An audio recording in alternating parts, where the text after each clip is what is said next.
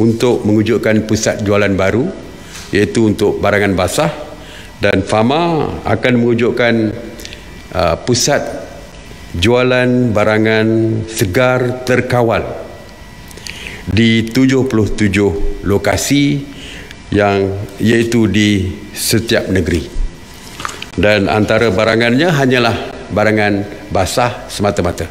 Tidak ada lagi. Kalau dulu pasar tani ada pakaian menjual pakaian menjual makanan dan sebagainya kali ini hanya menumpukan kepada pasar apa barang-barang basah semata-mata seperti ikan, sayur dan sebagainya.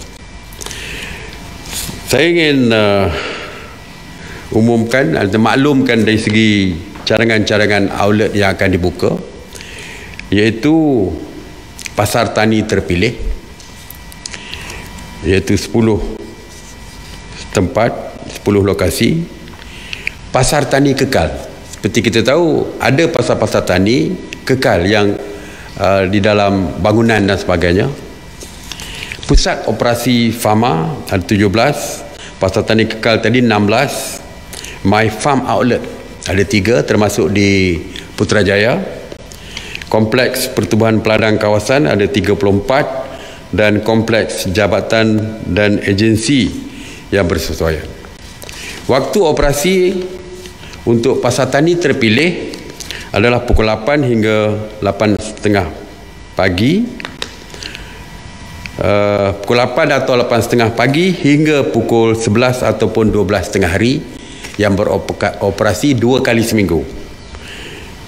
Yang keduanya di pusat operasi pasar tani uh, pukul 8 8.30 pagi hingga pukul 12.30 hari. Dan juga sehingga 4 petang setiap hari. Dan seperti saya sebut tadi bahawa SOP SOP-nya adalah SOP yang ketat iaitu penjarakan sosial akan ditetapkan. Gerai-gerai yang berniaga akan dijarakkan supaya tidak timbul kesesakan dan sebagainya pintu masuk dan pintu keluar akan dikawal oleh pihak polis dan juga tentera jadi tujuan kita walaupun kita benarkan uh, rakyat kita berbelanja dengan pilihan yang lebih banyak di pasar-pasar basah masuk pasar tani tetapi SOP yang ditentukan oleh kerajaan mesti dipatuhi di pasar-pasar tani.